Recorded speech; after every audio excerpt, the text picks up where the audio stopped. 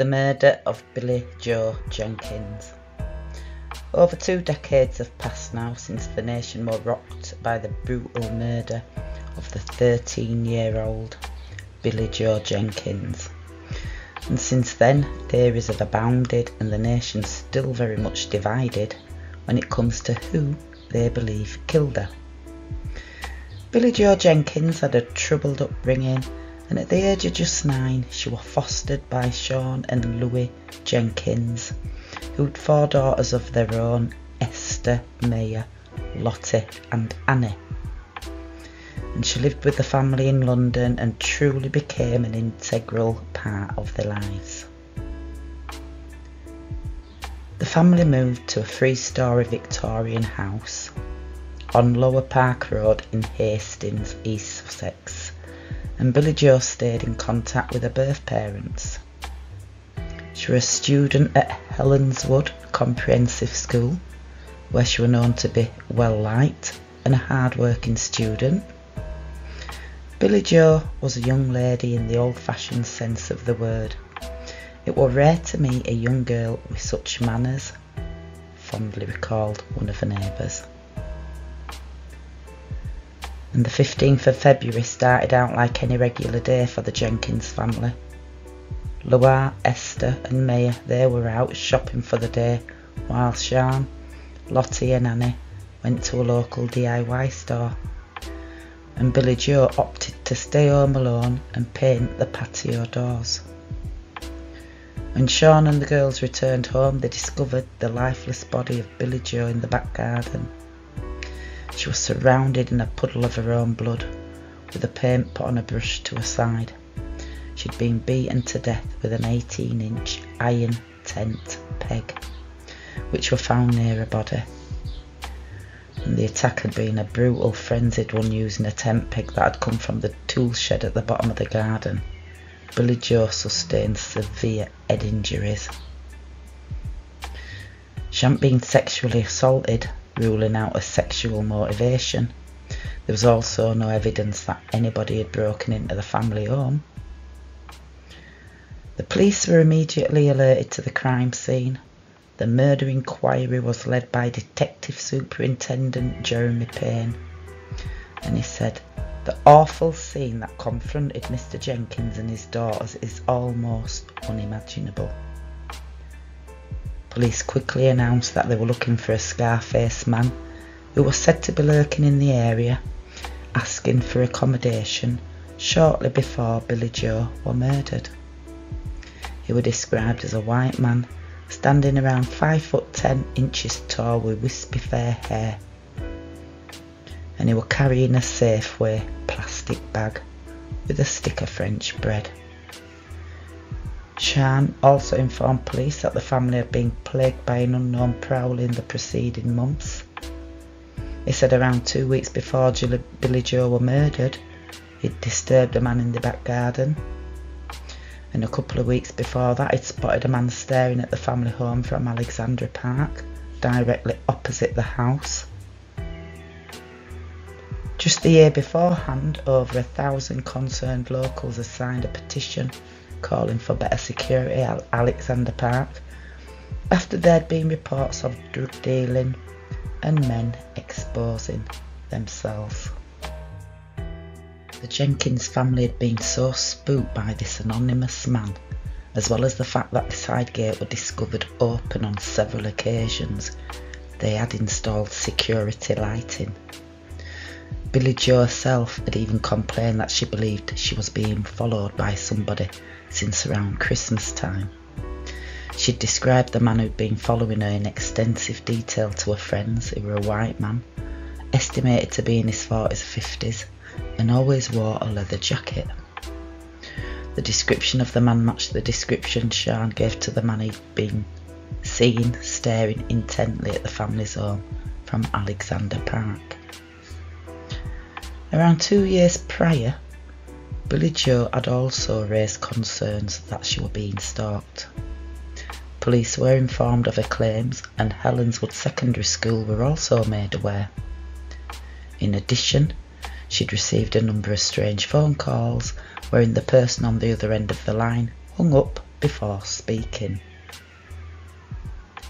Detective Superintendent Jeremy Payne stated she had told her parents and friends she felt she was being followed and had spotted a man on some occasions. It appears that she felt this man was paying particular attention to her for some reason. And Hastings were once a quaint holiday resort, but over the years it became run down. Hotels and bed and breakfasts were left abandoned, and flats for patients released under the care of the community scheme, they began to pop up. Some neighbours of the Jenkins family said there'd been a spate of robberies as well as vandalism in the area. In fact, the house next door to the Jenkins home was derelict and boarded up. Police announced that they were working on the theory that Billie Jo's killer had been hiding inside the abandoned house next door before he unleashed his attack when he knew that Billie Jo was alone. Sion and Lois would appear on national television to appeal for help in finding the killer of their daughter. Lois could barely contain her emotion as Sion read from a prepared statement. As a family, we're totally devastated. We do not understand why or what the motive was, but we're working closely with police in the hope that the killer will be found and that we can eventually piece our lives back together over the coming years. Billie Jo was loving, she was supportive of her four sisters, she was also buoyant, articulate, quick to learn, she was loud and she was fun loving. And as parents, our sadness drives us to closely work with the police to find a killer. We therefore appeal to anyone who thinks of any information about this crime to contact the police. And just days after the murder, a 44 year old man were arrested in connection. The man who'd been arrested had a large birthmark on his face and was said to be the same man who'd been spotted in the area asking about accommodation shortly before Billie Jo was attacked. However, shortly thereafter, the man would be released from police custody into secure psychiatric care and ruled out as a suspect. A couple of days later, a second man was arrested in connection with Billie Jo's murder, but the following day he too was released from police custody. And on the 24th of February, there was an unexpected twist in the case. It was announced that Sion had been arrested in relation to Billie Jo's murder. Sion strongly denied that he was involved in his daughter's murder, but three weeks later he was charged with her murder. He was additionally charged with dishonestly obtaining a pecuniary advantage. An investigation into his background had uncovered that he'd falsely represented his educational qualifications and teaching experience to secure his job as deputy head of William Parker School. He would be ordered to stand trial at Lewes Crown Court in June of 1998. During the trial, the prosecution suggested that Sion had beaten Billie Jo to death after a day of frustrating, irritating events, but said that the true motivation may never be known. Camden Pratt QC said that after killing Billie Jo, Sion had then gone to a local DIY store with his two daughters in an attempt to distance himself from the murder before pretending to find Billie Jo's body when he returned home. The case against Sion was built on 139 small blood spots which were found on his clothing. According to the prosecution, the blood resulted from an impact spatter which had come from Sion hitting Billie Jo with the iron tent peg.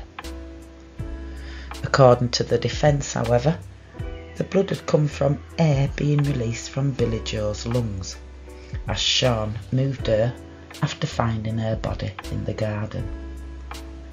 The defence would present an experiment to try and show that Sion could have sprayed Billie Jo's blood.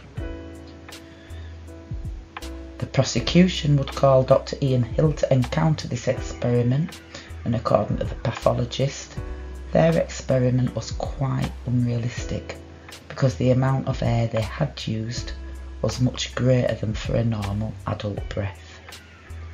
Sion Jenkins would be found guilty of the murder of Billie Jo Jenkins and sentenced to life in prison. In 1999, Sion appealed his conviction, claiming the forensic evidence in the case was inaccurate and that the verdict should be squashed. He would lose the appeal, but in May of 2003, after a two year investigation headed by the Criminal Cases Review Commission, the case was transferred back to the Court of Appeal. The Criminal Cases Review Commission noted the jury did not hear from Sion's other daughters who corroborated his story. During the original trial, police had been told by Lois, who by this point had divorced Sion. What their four daughters had changed their original stories, which backed up their father's denial of murder. While at the 2003 appeal, Annie and Charlotte's testimony supported the defence's case that their father would not have had time to commit the murder. During the ret- retrial, the forensic evidence from the first trial was scrutinised. Forensic experts testified that the blood found on Sion's clothing could have gotten there as he comforted Billie Jo during her dying moments. The basis of Dr. Ian Hill's opinion had come from the fact that there was only a blockage in Billie Jo's lower airway. However, it's since been discovered that the blockage was in fact in her upper airway. And after a three month retrial, the jury was unable to reach a verdict. A second retrial was called, and in February of 2006, they too were unable to reach a verdict. Sion Jenkins was declared in consequence not guilty, and the Crown Prosecution Service would subsequently formally acquit him of the murder. Over the years, many people have called for the murder case to be reopened, especially considering the advancements of DNA technology. And while the case remains unsolved, Sussex police have said that if any new information may arise, it would be assessed and investigated if necessary.